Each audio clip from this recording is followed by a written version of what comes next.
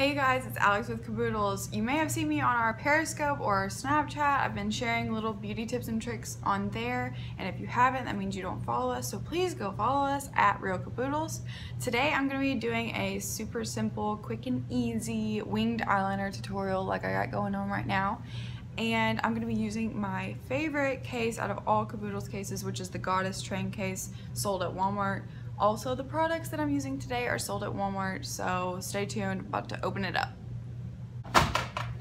Isn't that amazing? It just all rolls out. So I keep all my eye stuff in a little, this is called a soulmate purse. I keep all my like eyeliner, eyebrow pencil, everything in here because I can take this and put it in my purse instead of keeping it in my train case all the time. Um, so my favorite product that I use for my eyeliner is this. I don't know if you can see it. It's Wet n Wild Mega Liner. You can get it at Walmart. It's brush tip, super easy to apply. And then my other product that I use is a secret, so I'm sharing it with you guys. This. And there's no brand on it because I've used it so much, but it's an e.l.f. makeup removing pen and I love it. This will make all the difference.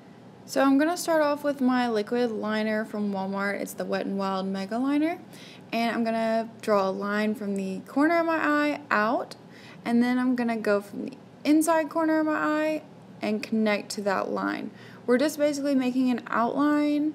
It doesn't have to be smooth. It doesn't have to be perfect. We'll clean it up later. And then we're going to fill it in with the liquid liner. I'm really a huge fan of the brush on this liquid liner because it's super thin so it makes it easy to get those tips super sharp. But even if you can't get them super sharp right now, um, my next little tool is going to help you out with that.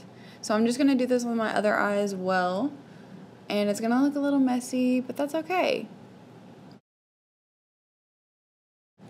So after I get both of these little outlines filled in, I'm going to be using the e.l.f. makeup removing brush which is right there.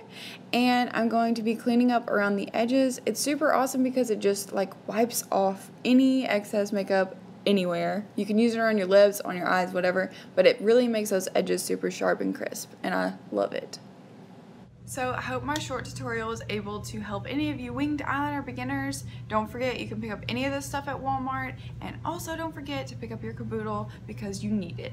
Um, this was the Soulmate purse and this is the Goddess Train case and it is life-changing. Stay tuned on Periscope, stay tuned on Snapchat, stay tuned on Facebook. I'm going to be posting more stuff here every day.